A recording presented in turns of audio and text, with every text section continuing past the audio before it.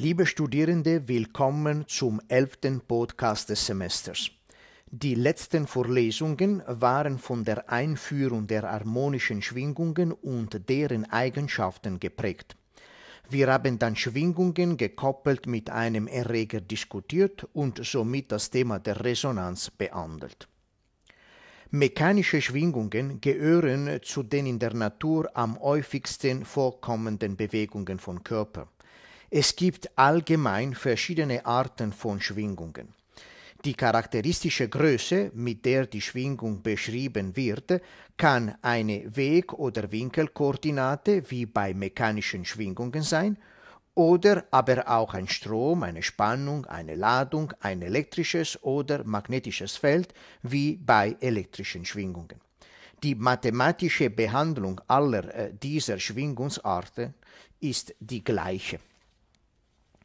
Wir werden uns auf die Behandlung harmonischer Schwingungen beschränken.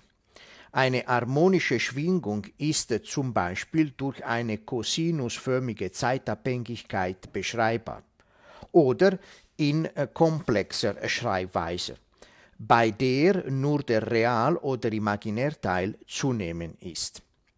In diesen Gleichungen bedeutet Q0 die Amplitude der physikalischen Größe, die schwingt. Omega gleich 2pi mal die Frequenz μ ist die Kreisfrequenz, wobei die Frequenz μ ist invers proportional zur Periode t der Schwingung und äh, Phi ist die äh, Phase. Die physikalische Bedeutung der komplexen Schreibweise liegt in der experimentellen Feststellung, dass eine Schwingung sich als Projektion einer Kreisbewegung darstellen lässt. Bei vorhandener Dämpfung oder Reibung nimmt die Amplitude mit der Zeit exponentiell ab. Das heißt, man erkennt eine harmonische Schwingung mit abnehmender Amplitude. Man sagt auch, dass die exponentielle Funktion eine Konvolution der harmonischen Funktion ist. Delta ist die sogenannte Dämpfungskonstante und Tau ist die charakteristische Abklingzeit. Als erstes Beispiel einer harmonischen Schwingung haben wir die Situation des Federpendels diskutiert. Die dazu gehörende Bewegungsgleichung nach dem Newtonschen Gesetz besteht aus folgenden Termen. Der erste Term ist die Trägheitskraft, die stets der Beschleunigung entgegengerichtet ist. Der zweite beschreibt die Reibungskraft, die stets der Bewegungsrichtung, also der Geschwindigkeit, entgegengerichtet ist. Und der dritte ist die rückstellende Kraft nach dem Uckschen Gesetz. Diese angreifende Federkraft ist stets der Auslenkung x entgegengerichtet. Eine ähnliche Überlegung und mathematische Behandlung lässt sich für den LCR-Schaltkreis berücksichtigen. Bei der Aufstellung der Bewegungsgleichung hilft in diesem Falle die bekannte Maschenregel. Die Summe aller Spannungsabfälle muss gleich Null sein. Alle Schwingungsbewegungsgleichungen besitzen die gleiche mathematische Form. Die Lösung der Gleichung des mechanischen Pendels, zum Beispiel mit den Anfangsbedingungen, dass bei der Zeit t gleich 0 die Position x ist gleich x0 und die Geschwindigkeit bei der Zeit t 0 gleich 0 ist, ist hier angegeben. Wobei Omega 0 die Eigenfrequenz der ungedämpften Schwingung ist und Omega die neue Frequenz des gedämpften Pendels ist. Die Reibung oder Dämpfung hat auch eine Phasenverschiebung zur Folge.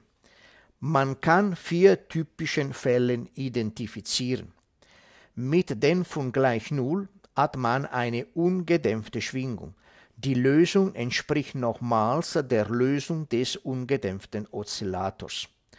Mit Dämpfung kleiner als die Eigenfrequenz des Pendels Omega 0 hat man eine gedämpfte Schwingung. Das System schwingt mit zeitlich abnehmender Amplitude. Mit den von gleich äh, der Eigenfrequenz des Pendels hat man eine aperiodischer Grenzfall. Das System schwingt gerade nicht mehr, die Amplitude geht rasch auf Null. Und mit Delta äh, größer als die Eigenfrequenz äh, des Pendels redet man von einem Kriegfall, wo die Frequenz nicht mehr reell bleibt. Die Amplitude der Schwingung strebt exponentiell gegen Null an, wenn die Zeit asymptotisch gegen unendlich strebt. Freie Schwingungen wurden in Gang äh, gesetzt, indem man das System auslenkte oder anstieß und dann sich selbst überließ. Jetzt soll diese Anregung von außen periodisch erfolgen. Wir betrachten somit die gekoppelten Schwingungen. Im Vorlesungsbeispiel das Schwungrad des Pendels ist über eine Spiralfeder mit einem Motor verbunden, der das Federende mit einer einstellbaren Frequenz Omega bewegte und damit auf das Pendel ein periodisches Drehmoment ausübt. Das System besteht also aus dem Motor als Erreger und dem Pendel als Schwinger. In der Summe der äußeren Drehmomente sind außer dem Erregerdrehmoment das Federdrehmoment und das Reibungsdrehmoment zu berücksichtigen. Hier wurde die äh, komplexe Schreibweise gewählt für eine einfachere mathematische Handhabung. Man macht folgende experimentelle Feststellungen. Das Pendel schwingt immer genau mit der Frequenz des Erregers, nicht mit seiner Eigenfrequenz. Das Pendel schwingt gegenüber dem Erreger mit einer Phasenverschiebung, die von der Erregerfrequenz abhängt. Die Amplitude der Pendelschwingung hängt ebenfalls stark von der Erregerfrequenz ab. Die experimentellen Feststellungen werden von der Lösung der Bewegungsgleichung bestätigt, nämlich für Frequenzen des Erregers, die viel kleiner sind als die Eigenfrequenz des Pendels, das Pendel bewegt sich so, als wäre der Pendelkörper starr mit dem Erreger gekoppelt. Beide bewegen sich gleichphasig. Die Amplitude ist klein, aber verschieden von Null.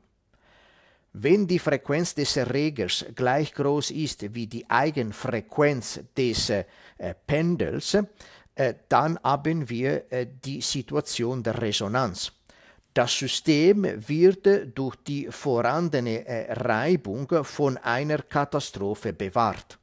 Bei der Resonanz sind Erreger und äh, Pendel 90 Grad Phasen verschoben.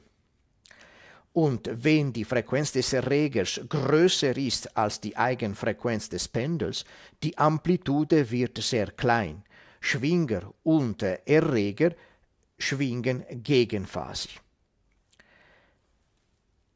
Nächste Woche werden wir uns der allgemeinen Diskussion der Wellen und deren Eigenschaften widmen.